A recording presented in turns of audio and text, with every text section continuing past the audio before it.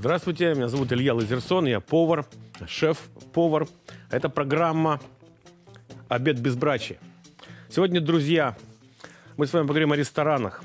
Ну, вернее, о том, как сделать ту еду, которая нравится тебе в ресторане, дома. Мы зачем ходим в ресторан? Зачем мы едим вне дома?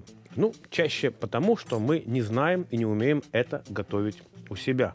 Это для нас является стимулом. Ну, конечно, не хочется мыть посуду, не хочется ходить в магазин за продуктами, не хочется с ними возиться и так далее, и так далее. Но, скажем, мы часто не ходим, э, вернее, мы часто ходим, например, в китайский ресторан, потому что мы действительно не понимаем и не знаем, как все это готовится. Я сегодня вам открою секрет приготовления одного известного китайского блюда, которое называется кальмары в кисло-сладком соусе. Китайская еда, она популярна в нашей стране. Во всяком случае, большинство мужчин, которых знаю я, любят китайскую еду. Поэтому я вам сейчас покажу, как спокойно, не торопясь, сделать китайское блюдо. Хотите с кем-то совместно, хотите самостоятельно. Здесь абсолютно ничего сложного нет.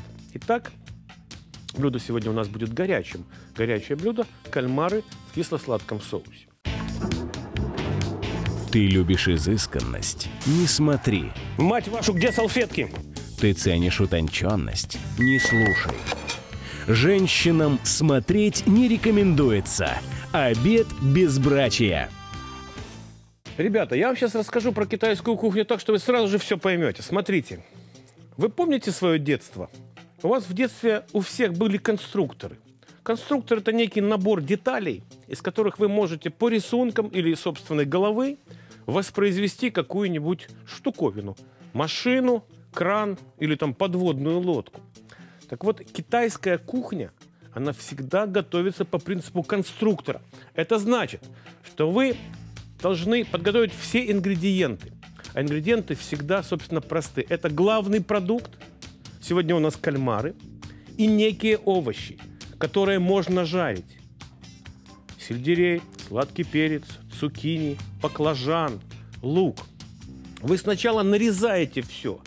И главный продукт, и овощи. И вот у вас все это нарезано, а потом вы берете глубокую сковородку и в ней последовательно все начинаете жарить, добавляя каждый ингредиент за предыдущим. Вот э, кальмары. Я сейчас ими займусь. Посмотрите внимательно на кальмаров. Они куплены в магазине замороженными, они не очищенные. И сейчас я должен буду их очистить. Очистить для того, чтобы с ними работать. Кальмаров можно чистить, обдавая их кипятком. Это очень эффективно и хорошо. Но для сегодняшнего блюда я не могу так поступать, и вы потом поймете почему. Я должен несколько повозиться и очистить их традиционным способом, снимая вот эту вот э, кожицу просто-напросто руками. Я сейчас буду это делать. Это тоже не сложно. Важно здесь немного набраться терпения. То есть вот как она спокойно снимается, эта кожица. Здесь э, нужно будет проявить, э, скажем, моторику рук. Это блюдо требует определенной сноровки и э, определенной моторики. Ну, что такое моторика? Ну, моторика – это тонкость движений, собственно говоря. Вот, например, когда дети растут, то э, существует ряд упражнений для детей, которые развивают именно моторику. Потому что считается, что моторика, вот такая тонкая моторика, то есть работа, скажем, пальцев, она развивает еще и мозги. Поэтому сегодня у вас есть шанс, дорогие друзья, или завтра, когда вы там захотите это сделать, немножко развить еще и себе и мозги. Но моторика, конечно, прежде всего может быть хороша у тех, кто не выпивает – потому что у людей выпивающих, конечно, моторика, как вы понимаете, плохая. Нет тонкости движений, э, плохая реакция. Так что э, я рекомендую еще и бросить пить на месяцок. И только потом приготовить это блюдо тем, кто пьет. Значит, вот один кальмар как-то очищен. Я сейчас почищу еще одного. Вот такого большого кальмара. И потом начну с ними работать.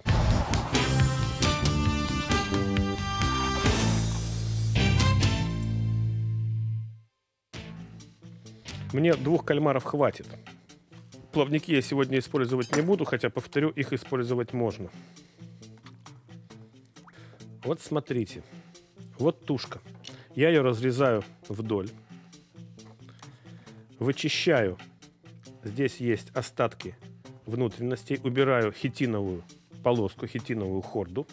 И вот теперь у меня есть мякоть кальмара. Вот посмотрите. Очищенная мякоть кальмара. Я могу ее разрезать вот так пополам. Вот у меня прямоугольник более-менее. Я теперь, смотрите-ка, делаю чуть под углом тонкие и очень неглубокие надрезы. Я не прорезаю сейчас кальмара. Вот где моторика нужна.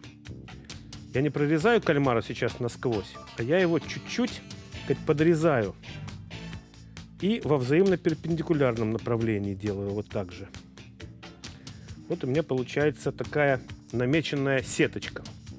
Я сейчас кальмара разрежу теперь на несколько фрагментов. И каждый фрагмент, как вы понимаете, он у меня надрезан сеточкой. Вот это уже то, что мне надо для блюда. И сейчас я так сделаю несколько раз, чтобы получить вот такие вот надрезанные фрагменты кальмара. Это чисто внешний эффект. Это никак не влияет на качество кальмара. Это просто внешний эффект. Но это будет красиво. Вы потом увидите, насколько красиво. Кальмар у нас сегодня будет в соусе, в кисло-сладком, как я уже сказал. И к нему будет еще и гарнир. Ну, самый распространенный гарнир в Китае – это, конечно же, рис. Но я сегодня вам покажу, как сделать так называемый жареный рис. Я думаю, что это всем будет интересно. И в частности, я сегодня покажу, как приготовить жареный рис с яйцом.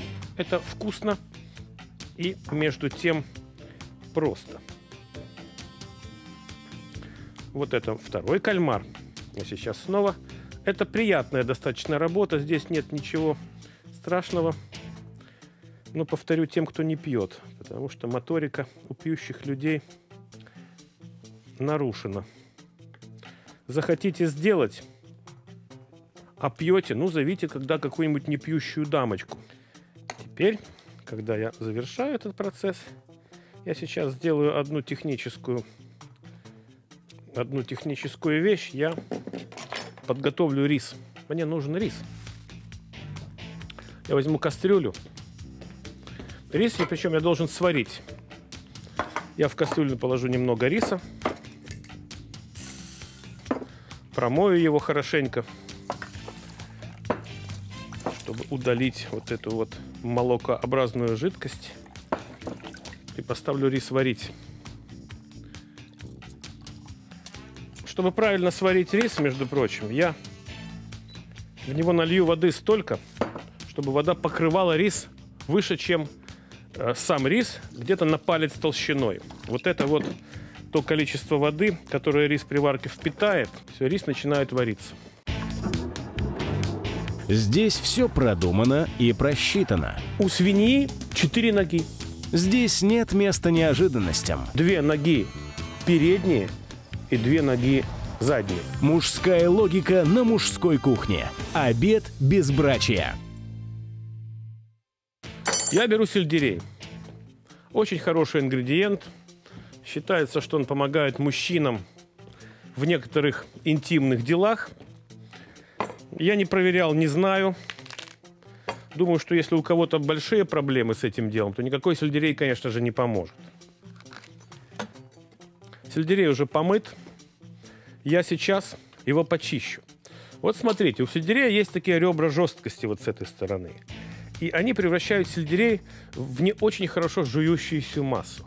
Чтобы сельдерей произвел впечатление более сочного продукта, это надо все убрать. Вот посмотрите на эти ребра жесткость, я сейчас вам их покажу. Вот они. Вот я их снимаю, как у ревеня.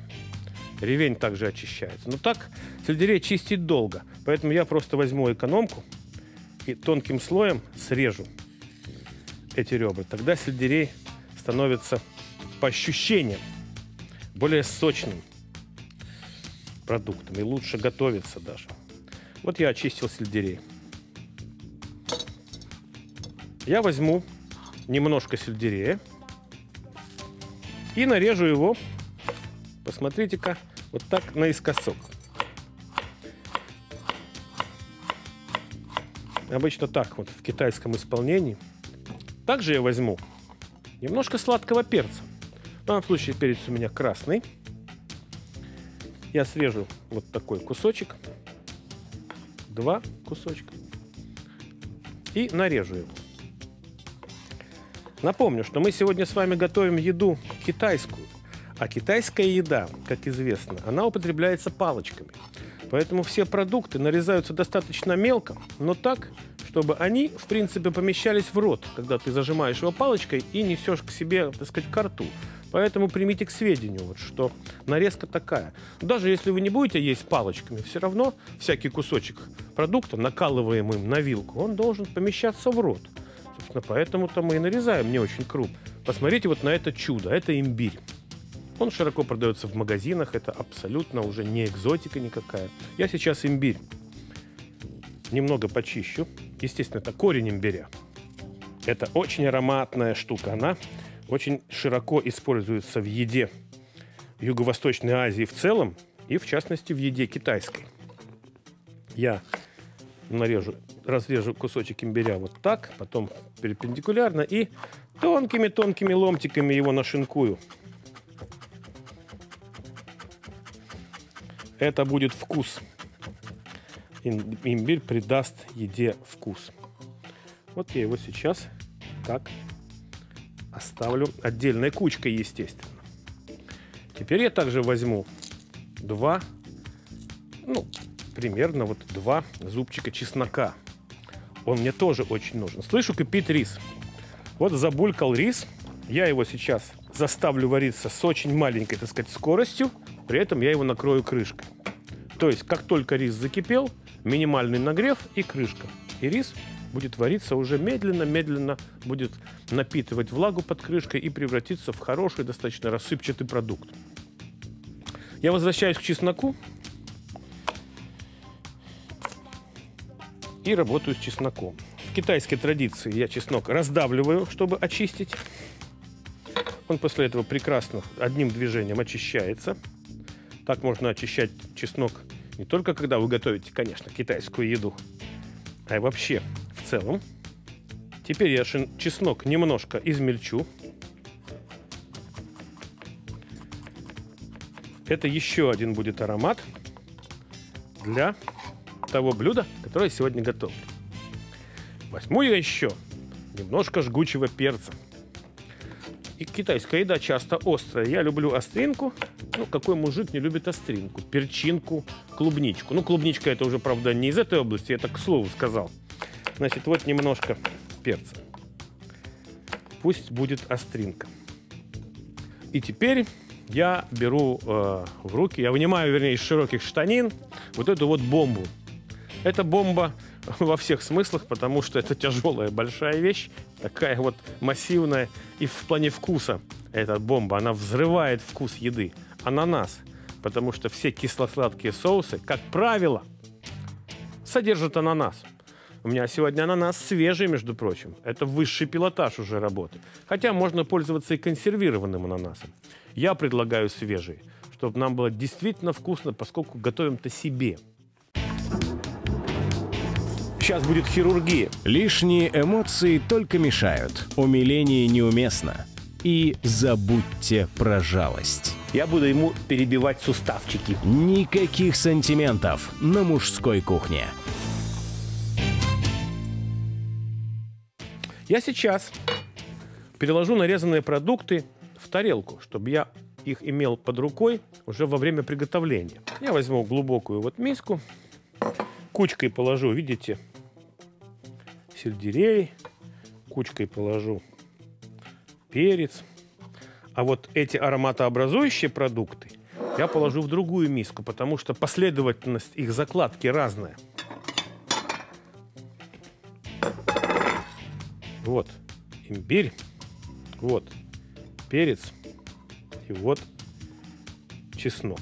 Вот так я все разложил по полочкам. Я это пока уберу плите, потому что именно возле плиты эти продукты мне понадобятся. Ананас. Ну, я сразу могу, конечно, срезать верхушку, потому что она мне не нужна. И сейчас я его должен буду очистить. Но я лучше сейчас отрежу вот так пополам, потому что мне весь ананас не нужен. И вот смотрите, что я сейчас буду делать. Я сверху вниз да, начинаю срезать кожицу. Вот так грубовато, иначе не получается. Я очищаю сверху вниз ананас.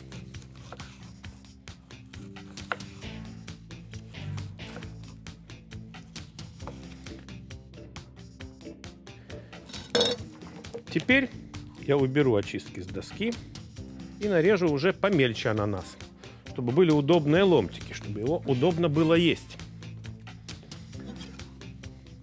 Вот смотрите, вдоль, на дольке, еще раз вдоль. Теперь я убираю сердцевину, потому что сердцевина жесткая, ее не едят. Ее можно, конечно, как вот обгрызть. Вот я нарезаю теперь, смотрите, совсем узенькими дольками. И каждую дольку я нарежу на удобные ломтики. Вот так. Вот это уже тот формат нарезки ананаса, который мне нужен для блюда. Вот так. Это я отложу в сторону. Ананас тоже пойдет вот к этим основным продуктам. Ананас у нас сегодня третий. Есть. Теперь я возвращаюсь к рабочему столу. Напомню, что происходит, потому что продуктов сейчас было использовано много. Напомню, что происходит. Я прежде всего почистил кальмаров, сырые кальмары, и нарезал на них сеточку. То есть я в взаимно перпендикулярных направлениях провел ножом по мякоти, чтобы мякоть не прорезать. Вот видно, как разрезан кальмар. Это ломтики кальмара, это наше основное блюдо. У меня на этой тарелке ломтики очищенного сельдерея стеблевого, сладкий перец и ананас свежий. Чеснок, имбирь, жгучий перец. Вот это вся наша история. Теперь я ставлю возле себя томат, сахар, уксус. Так, и теперь мне понадобится еще крахмал. Но крахмал мне понадобится своеобразным образом. Я сейчас возьму э, чашку. Обычная чашка. Положу крахмал в нее. Налью воды. И перемешаю ложкой. Это будет загуститель потому что китайские соусы, как правило, загущаются крахмалом. И сейчас я потихонечку начну готовить соус. Беру сковородку. Лучше, чтобы она была глубокая. Наливаю сюда чуть-чуть растительного масла и жду, пока эта штуковина нагреется.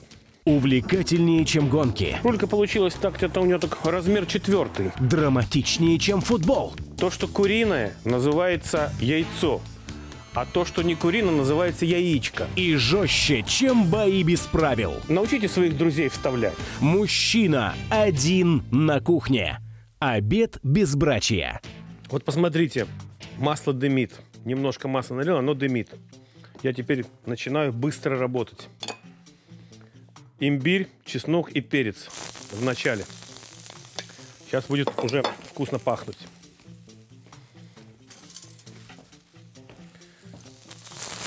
чуть-чуть обжарил имбирь, чеснок и перец.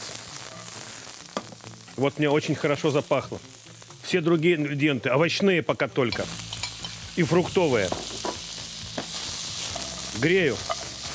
Очень недолго. Чтобы овощи все-таки и ананас оставались чуть хрустящими.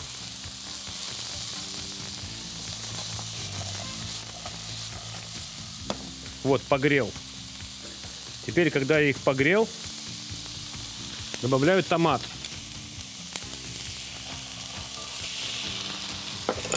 Немножко грею все вместе, чтобы томат прогрелся здесь.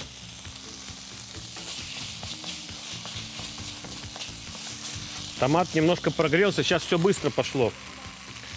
Сахар, посмотрите, я достаточно много сахара сюда положил.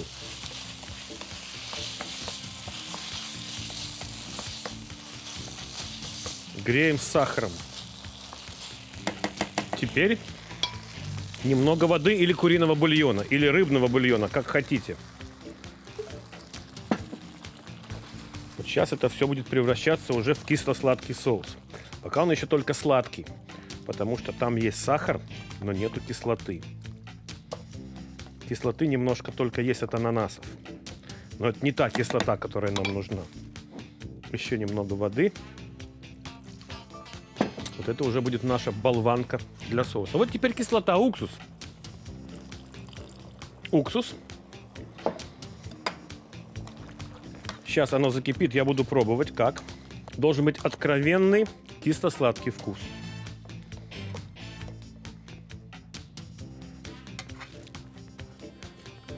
Вот кисло-сладкий вкус есть. Я дам капельку соли. Можно пользоваться, например, соевым соусом в качестве соли, но я не буду лить сюда соевый соус. Вот уже получился такой хороший, красивый красный соус с ананасом, с перцем, с сельдереем. Мне мало сахару. Мне мало соли.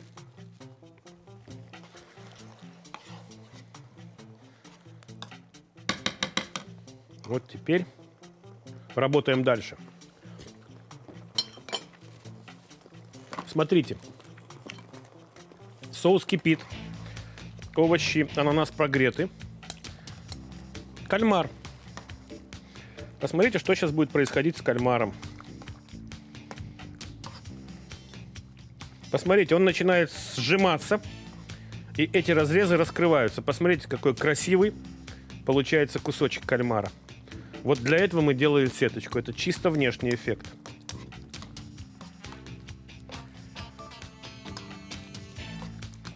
Кальмаров готовить долго не надо.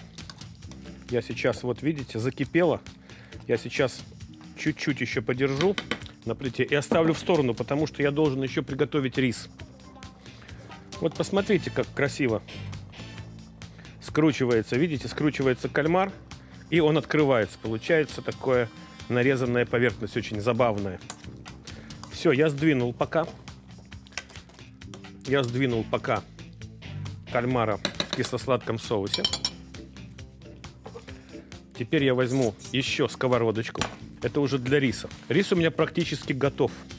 Вот он, видите, он впитал всю воду, уже сказать, э, разварился как надо, и он готов. Наливаю чуть-чуть растительного масла.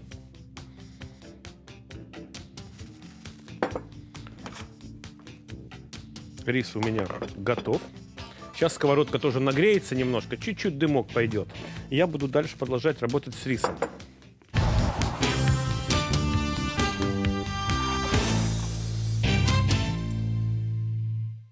Но кальмар требует еще одного финального штриха, который будет сделан потом. Я, чтобы не забыть сделать этот штрих, поставлю рядом со сковородкой немножко кунжутного масла. Это масло, которое делают из семян кунжута. Это такие маленькие семечки. Им порой посыпают булочки для гамбургеров, если знаете. Так вот, если этих семян сделать масло, оно получается очень ароматным и вкусным. Посмотрите, оно темное и дико ароматное. Его спокойно можно э, найти в обычных российских городах. В общем, кто захочет, тот найдет. Без него можно приготовить это блюдо, но не будет вот такой, знаете ли, изюминки, которая характерна для китайской еды. Масло, посмотрите, в сковородке нагрето. Я сейчас добавлю в него на сковородку рис.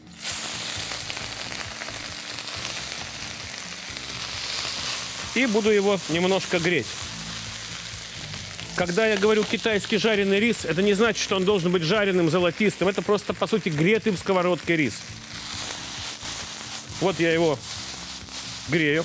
Я вам обещал что он будет с яйцом. Смотрите, как он готовится, рис с яйцом. Я сдвинул рис на половинку сковородки, добавляю чуть-чуть на свободную часть растительного масла, выбиваю яйцо на свободную часть сковородки, и оно начинает жариться. Теперь я его лопаткой превращаю в некий омлет. И когда омлет немножко схватился, вот он уже схватился, я начинаю перемешивать всю эту историю. Получается рис с яйцом. И теперь я буду перемешивать интенсивно это. Яйцо своими хлопьями вмешивается в рис, и получается, видите, рис с яичными хлопьями. Так называемый рис с яйцом. Вот рис с яйцом готов. Потому что у меня рис был горячим. Теперь я возвращаю кальмара. Я хочу его немножко погреть и дать ему финальный штрих. Вот что такое финальный штрих. Смотрите, когда я уже готов подавать кальмаров, вот они сейчас опять у меня закипят, я добавляю в кальмары ложечку кунжутного масла. Вот так, сдабриваю чуть-чуть еще. Тогда этот соус начинает блестеть и приобретает вот такой чуть аромат э, кунжутного масла.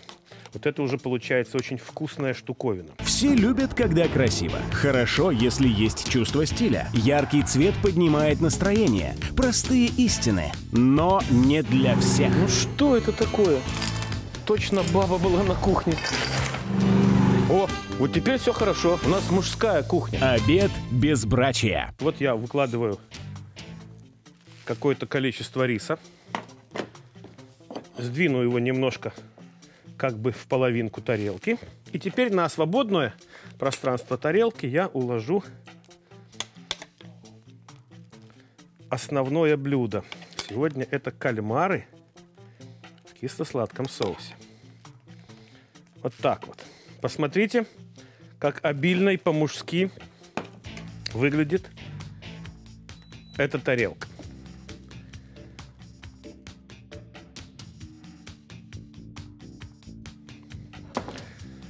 А сегодня, дорогие друзья, я с вами вел речь о том, как воспроизводить еду, которую вы обычно едите в ресторанах. Я вас призываю к тому, что совершенно спокойно практически любое ресторанное блюдо можно воспроизвести дома. Передача этому, конечно, не посвящена. Я здесь пытаюсь достучаться до сердец мужчин, которых хочу убедить в том, что занятие кулинарией на своей или на чужой домашней кухне – это всегда очень и очень приятно.